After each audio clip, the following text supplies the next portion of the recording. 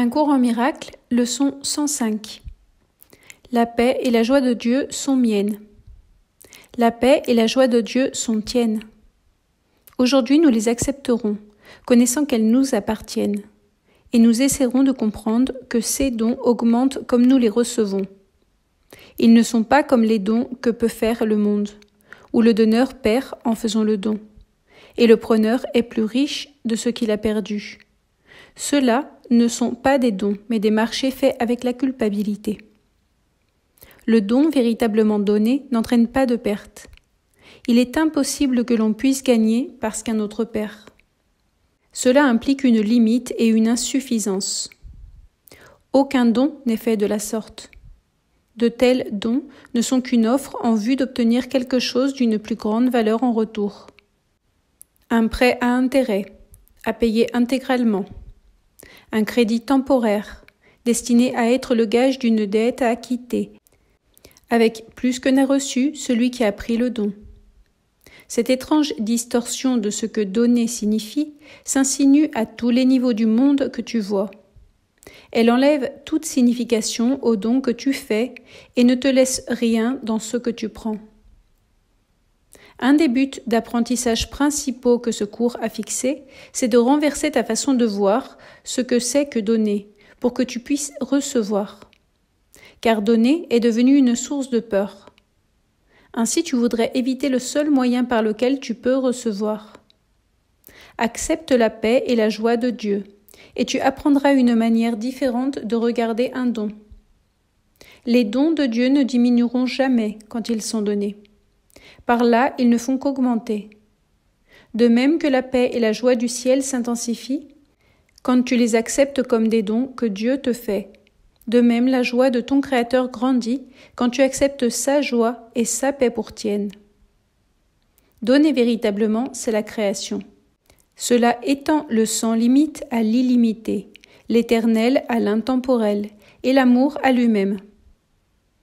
Cela ajoute à tout ce qui est déjà complet, non pas dans le simple sens d'ajouter plus, car cela implique qu'il y avait moins auparavant. Cela ajoute, en laissant ce qui ne peut se contenir lui-même, atteindre son but de donner tout ce qu'il a, se l'assurant ainsi à jamais. Aujourd'hui, accepte la paix et la joie de Dieu pour tienne.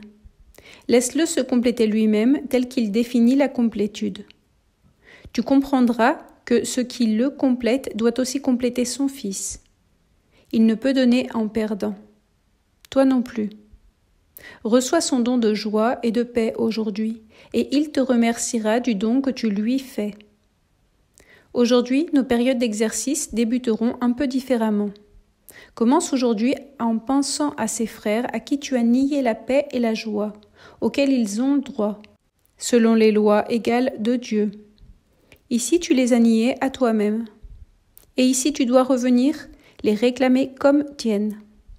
Pense à tes ennemis un petit moment, et dis à chacun, comme il te vient à l'esprit, Mon frère, je t'offre la paix et la joie, afin que je puisse avoir pour mienne la paix et la joie de Dieu. Ainsi tu te prépares à reconnaître les dons que Dieu te fait, et tu laisses ton esprit être libre de tout ce qui empêcherait le succès aujourd'hui. Maintenant, tu es prêt à accepter le don de paix et de joie que Dieu t'a donné. Maintenant, tu es prêt à éprouver la joie et la paix que tu t'étais. Maintenant, tu peux dire La paix et la joie de Dieu sont miennes, car tu as donné ce que tu voudrais recevoir. Tu dois réussir aujourd'hui si tu prépares ton esprit comme nous le suggérons. Car tu as permis que soient levées toutes les barrières à la paix et à la joie, et ce qui est à toi peut enfin venir à toi. Alors dis-toi, la paix et la joie de Dieu sont miennes. Puis ferme les yeux un instant et laisse sa voix t'assurer que les mots que tu dis sont vrais. Passe ainsi tes cinq minutes avec lui chaque fois que tu le peux aujourd'hui. Mais ne pense pas que moins ne vaille rien quand tu ne peux pas lui donner plus. Au moins, souviens-toi de dire toutes les heures les mots qu'il appelle à te donner, ce qu'il veut donner, et veut que tu reçoives. Détermine-toi à ne pas interférer aujourd'hui avec ce qu'il veut.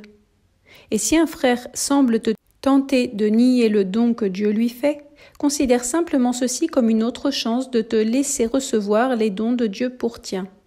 Puis bénis ton frère en le remerciant, et dis Mon frère, je t'offre la paix et la joie afin que je puisse avoir pour mienne la paix et la joie de Dieu.